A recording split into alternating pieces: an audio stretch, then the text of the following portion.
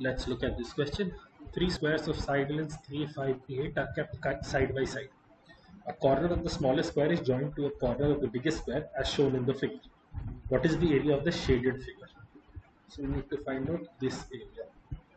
Okay. Let me name the points A, B, C, D, E, F, First, if I find out area of ABC, my life will be easy. Given this is a square, this would be 8. This is 3, this is 5, this is 8. So, my total area for ABC, ABC will be equal to 64. Area for ABC will be 64, half into 16 into 8. I did not to write that. Next thing, see, look at AGF and ABC. Can you see that these two triangles are similar? And the ratio of their sides is 1 is to 2. This is 8, this is 16. So 1 is to 2. So area of AGF will be area 1 fourth the area of ABC. So area of AGF is how much? Area of AGF is 1 fourth of so area of AGF is 16, 1 fourth of 64 now look at triangle ADE and triangle AFG. These are also similar.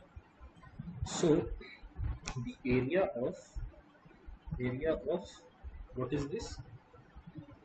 This is 9. Sorry, sorry. The length ratio of length of sides of AD. This is 3. This is 5. So the ratio of length of their sides is 3 is to 5. So the ratio of there oh it is not 3 is to 5 it is 3 is to 8 this is 3 AG is 8 so the ratio of length of side of AD to AFG is 3 is to 8 this is for sides. So the ratio for area will be 9 is to 64 now I only want the shaded region.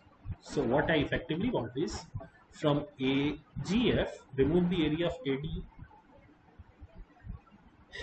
AD is 9 by 64 of 16.